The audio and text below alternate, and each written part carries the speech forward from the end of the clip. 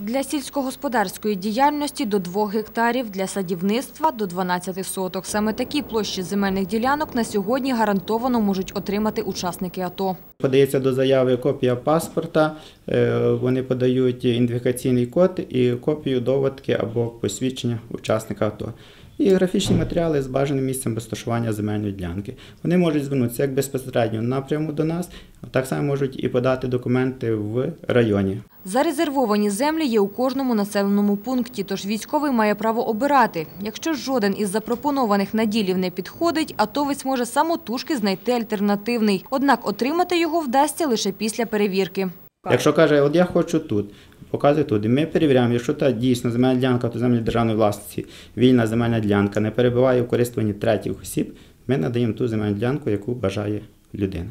Однак у Держгеокадастрі кажуть, багато хто просто вимагає конкретну ділянку, яка вже перебуває у використанні. Однак такі прохання не завжди вдається задовольнити.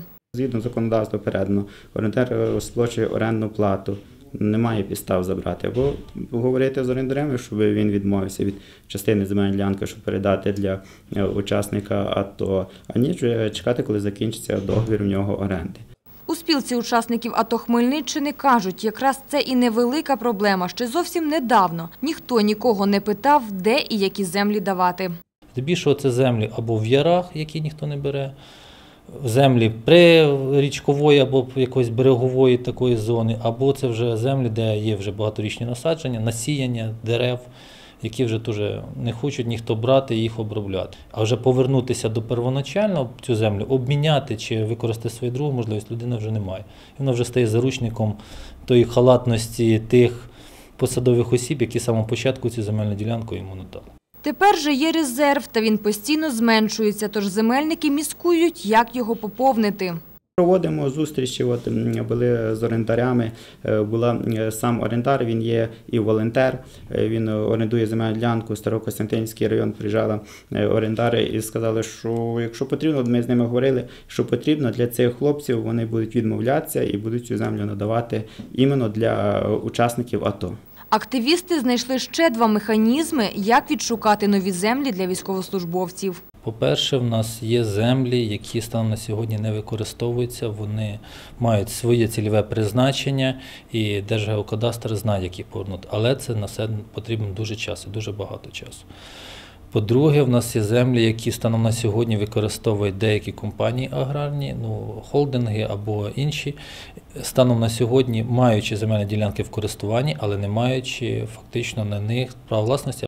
Та на це потрібен час, а доки що є резервні наділи, у Держгеокадастрі якнайшвидше намагаються передати їх у власність бійцям. Найбільше звернень з Хмельницького району – понад тисячу. Майже всі вони задоволені. Волочиський район багато, 486 звернень надійшло. Опрацьовано і надано дозволів 474. Е, Дунаєвецький 284. Е, Надано дозволів 276 громадянам. Е, І е, Шепетівський більше 200, Ярмолинський більше 200. Побачити розташування та поділ земельного масиву можна в онлайн-режимі на публічній кадастровій карті. На території Старокостянтинівського району запроектовані земельні ділянки для учасників АТО для ведення особистого селянського господарства. Це до 2 гектарів.